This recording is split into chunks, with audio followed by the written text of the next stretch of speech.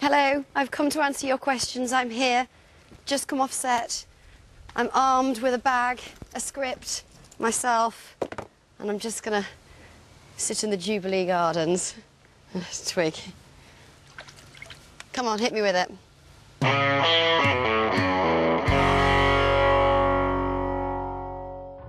Tamsin Davis. Who would I play in Hollyoaks if I wasn't playing Jacqui?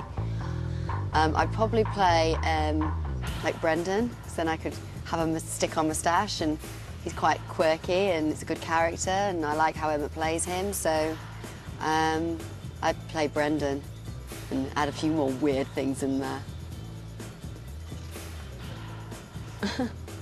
Next question. Ah, oh, Ali, that's a really tough question. I don't know. I think she loved them both at that time as much as each other. She's always going to have a huge soft spot for Tony because they've shared so much together and and I think they work well together as well. But you know, Rhys and Jacqui again, it's something completely different, and I think she loves him the same amount, but in a different way because he's a different person. So I couldn't pick, and I'm not going to pick. Hannah Louise Baker, what a good question.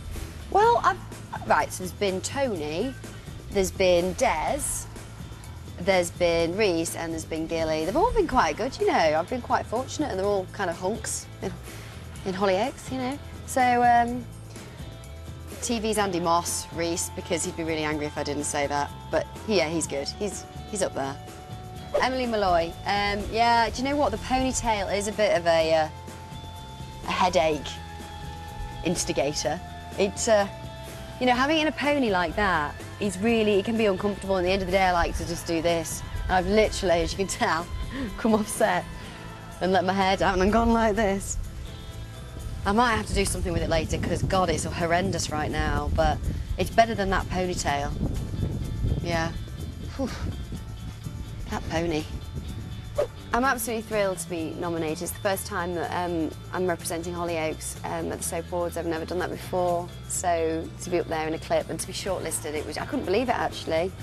Um, because there's some fantastic actresses in that category and to be up there with them, it means a lot to me. Um, what will I be wearing? Well, I don't want to ruin the surprise for those that might be interested, um, but it's a quite a simple dress. Um, I quite like simple things and I won't be wearing loads of jewellery, just kind of quite classic. Um, an Alexander McQueen dress, I think. So I'm looking forward to dressing up and being a little bit glamorous for a moment and having fun with all my colleagues at uh, Hollyoaks. Myself, Jen and Emmett, and obviously Kieran, who's in the panel, those were just we're absolutely thrilled and your support on Twitter, on Digital Spy, on everywhere, on the site it's been amazing. So thank you so much. I love hearing all your tweets and, and chatting with you all. And uh, oh, fingers crossed we, we get some awards this year. Big up Hollyoaks. Yay.